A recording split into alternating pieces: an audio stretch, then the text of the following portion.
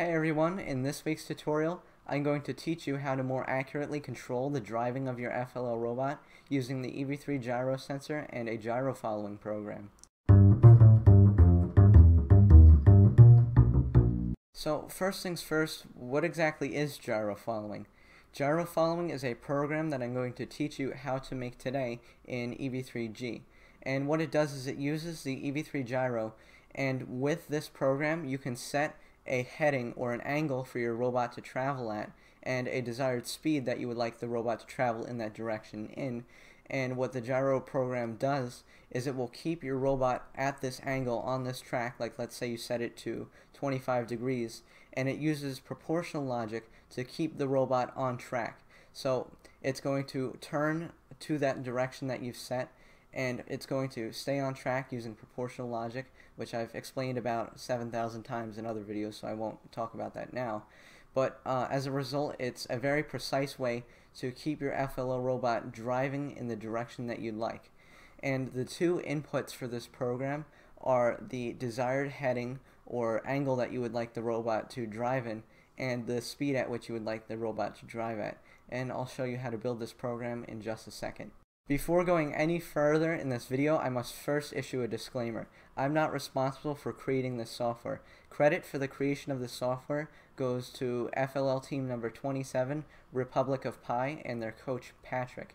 They were the ones who actually created this software and they shared it with me and they graciously granted me permission to make a video tutorial on it so I could share it with you guys.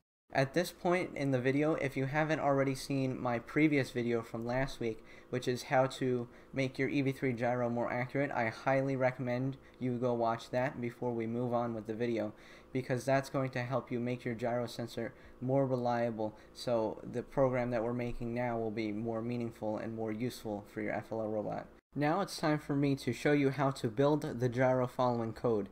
First, what we're going to want to do is take out a loop block and add that to our program. The next thing to do is take out, of course, a gyro block because we're going to want that if we're doing gyro following. We want it set to angle. Next we're going to take out a move tank block just like this. Set it to on.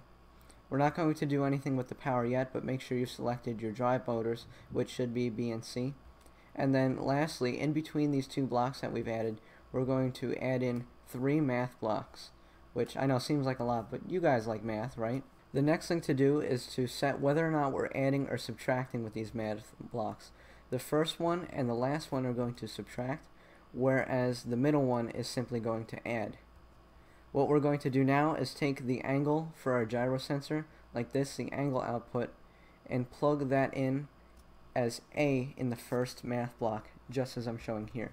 The next step is going to be taking the result of this first math block and plug it in as B of the next two math blocks in the series here. So of the first math block and now of the second math block.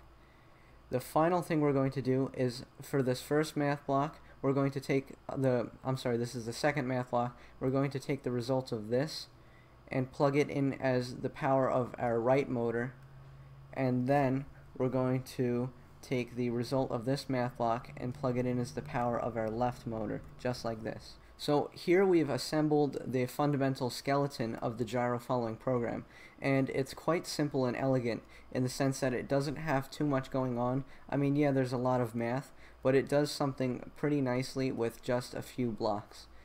The next thing that we need to do is set our values. What would we like it to do? And right now, it's not going to do a heck of a lot, and I'll show you why.